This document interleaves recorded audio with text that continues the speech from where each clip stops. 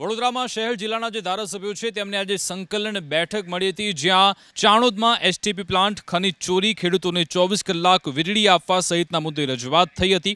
આ સંકલન બેઠક કલેક્ટર સાથે યોજાઈ હતી, જેમાં અલગ અલગ મુદ્દા ઉઠાવવામાં આવ્યા. જો કે, આ બેઠકમાં સાવલીના ભાજપ ધારાસભ્ય કેતન ઇનામદાર રોષે ભરાઈ ગયા. ચોમાસા પત્યા બાદ તાત્કાલિક પંદર વીસ દિવસમાં ખેડૂતોને પાણી આપવાના ટાઈમે તમારે મેન્ટેનન્સના બાના હેઠળ ખેડૂતોને પાણી નથી મળતું, એટલે એનો આખા વર્ષનો ખર્ચો.